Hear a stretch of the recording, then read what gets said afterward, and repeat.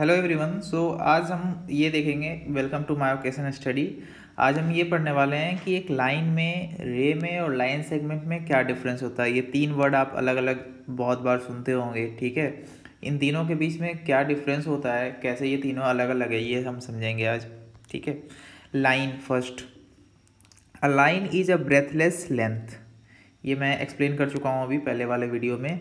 Line क्या है? एक ब्रेथलेस लेंथ है। एक ऐसा लेंथ जिसका कोई भी ब्रेथ नहीं है, इसकी चौड़ाई नहीं होती, इसकी सिर्फ़ लेंथ होती है, ठीक है? उसे क्या कहते हैं? लाइन। अब ये लाइन कितना लंबा होता है? कोई भी लाइन। किसी भी लाइन का आप लेंथ नहीं मेजर कर सकते, क्योंकि ये इनफाइनाइट से आता है, ठीक है? इनफाइनाइट से आता है और ये इनफाइनाइट तक इस डायरेक्शन में चला जाता है। मतलब कि इस डायरेक्शन में ये कहाँ से आ रहा है? ये हमें पता नहीं होता, ये इनफाइनाइट से आ रहा होता है, ठीक है? और इस डायरेक्शन में ये कहाँ तक जा रहा होता है, वो भी हमें पता नहीं होता। हम एक इसका छोटा सा पार्ट ही देख पाते हैं, ठीक है?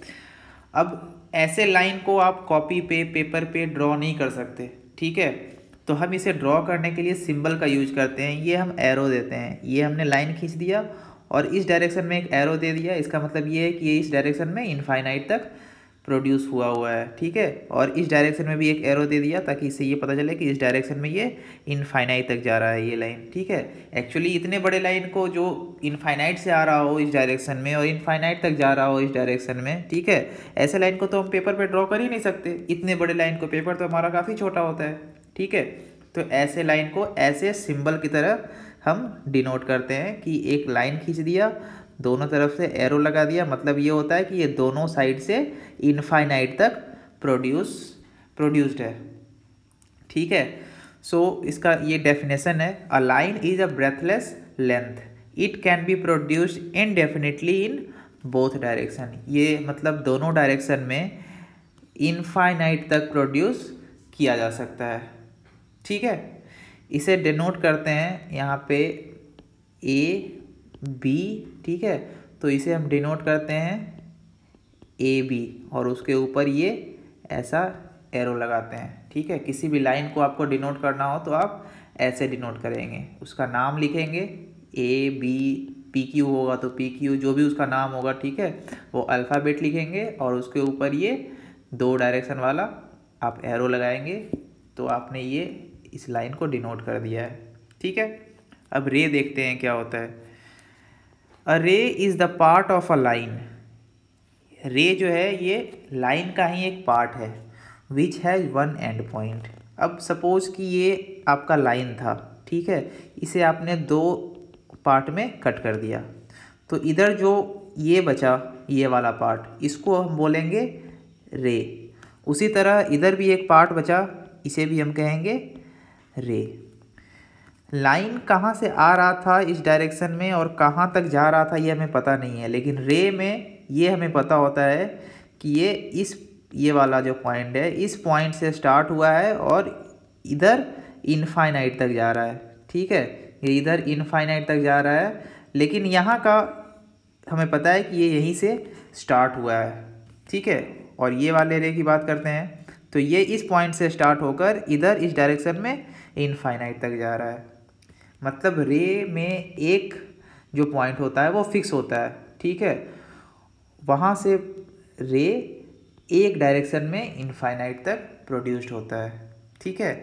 It can be produced indefinitely in one direction ये एक डायरेक्शन में इनडेफिनेटली यानी इनफाइनाइट तक, अनंत तक, ठीक है? जिसकी कोई सीमा ना हो, इसे प्रोड्यूस किया जा सकता है। यानी ये पॉइंट इसका एंड पॉइंट होता है। इसे टर्मिनेटिंग पॉइंट भी आप कह सकते हैं। Terminate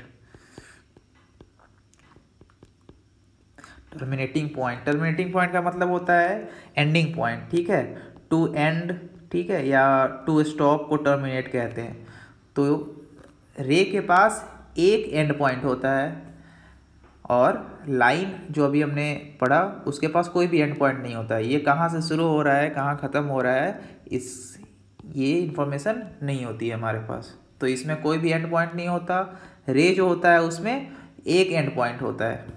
ठीक है वन एंड पॉइंट होते हैं। तो a ray is a part of line which has one end point I hope आपको डेफिनेशन क्लियर हो गई होगी। अब line segment the shortest distance between two points is called line segment ये basically एक डेफिनेट सर्टेन पॉइंट से start होकर एक सर्टेन पॉइंट पे ख़त्म हो जाने वाला लाइन जो होता है, उसे लाइन सेगमेंट कहते हैं। यानी ये ए से शुरू हुआ और ये पिछले वाले रे की तरह और लाइन की तरह इनफाइनाइट तक नहीं जा रहा है। ये ए से शुरू हुआ है और बी तक ख़त्म हो गया। ठीक है? यानी ये इस फिक्स पॉइंट से शुरू होकर इस फिक्स पॉइंट तक ख़त्म हो जा रहा है। ये भी इसका एंड पॉइंट है और ये भी इसका एंड पॉइंट है। ऐसे लाइन को हम लाइन सेगमेंट कहते हैं। ठीक है? यानी जिसका दो एंड पॉइंट हो it has two end points यानी ये किसी खास पॉइंट से स्टार्ट होता हो और किसी खास पॉइंट पे एंड होता हो, उसे कहते हैं लाइन सेगमेंट ठीक है? ए बी चलिए इसे पी क्यू बोल देते हैं, ठीक है? ये पी क्यू तो पी क्यू जो लाइन है वो लाइन सेगमेंट इसे कहेंगे एक्चुअली इसे लाइन नहीं कहेंगे, ठीक है? ओके एक चीज़ मैं भूल गया, रे को कैसे डिनोट करते हैं? रे को आपको डिनोट करना हो तो आप यहाँ से सपोज़ ये एक रे है, ठीक है? तो यहाँ से इसका नाम है ए बी तो इसे आप डिनोट करेंगे ए बी लिखेंगे और इस पर ये ऐसा एरो बनाएँगे। ऐसे डिनोट करते हैं हम किसी रे को, ठीक है? आप लाइन सेगमेंट को कैसे डिनोट करना है? तो लाइन सेगमेंट आप ए बी लिख सकते हैं, ठीक है? ये सिंपल डिनोटेशन आप लाइन सेगमेंट का ऐसे कर सकते हैं। इस पर कोई भी एरो बनाने की ज़रूरत आपको नहीं है, ठीक है? Okay it can not be produced on either side यानी एक लाइन सेगमेंट को किसी भी साइड पे प्रोड्यूस नहीं करते हैं।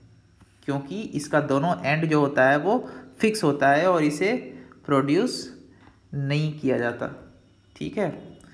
रे को एक डायरेक्शन में प्रोड्यूस किया जाता है लाइन को दोनों डायरेक्शन में प्रोड्यूस किया जाता है और लाइन सेगमेंट को किसी भी डायरेक्शन में प्रोड्यूस नहीं किया जाता। यानी जिसका दो एंड पॉइंट हो वो लाइन सेगमेंट जिसका एक एंड पॉइंट हो वो रे, और जिसका कोई भी एंड पॉइंट ना हो वो लाइन। तो इन तीनों में डिफरेंस आपको समझ आ गया होगा, ठीक है? अगर नहीं समझ आया तो आप कमेंट में लिख सकते हैं, मैं उसे दोबारा एक्सप्लेन करने की कोशिश करूँगा। ओके अब एक कॉन्सेप्ट है इंटरसेक्टिंग लाइंस ठीक है? इंटरसेक्टिंग लाइंस क्या होते हैं? अगर कोई दो लाइन ठीक है? सपोज़ दो लाइन कट करते हैं, ठीक है? तो इस कट करने को इंटरसेक्शन बोलते हैं, ठीक है? इंटरसेक्शन मतलब होता है टू कट और ये जो जिस पॉइंट पे ये कट करते हैं, ये जो पॉइंट है, जिस पे ये दोनों लाइन कट कर रहे हैं, इसे कहा जाता है पॉइंट ऑफ़ इंटरसेक्शन ठीक है? पॉइंट ऑफ़ इंटरसेक्शन तो इन दोनों लाइन को, ये जो लाइन और ये जो लाइन दिख रहा है, ठीक है? इन दोनों लाइन को कहेंगे इंटरसेक्टिंग लाइंस ए बी और पी क्यू यानी ए बी लाइन है एक और एक लाइन है पी क्यू ये दोनों जो लाइन है वो इंटरसेक्टिंग लाइन है इस फिगर के अकॉर्डिंग ठीक है?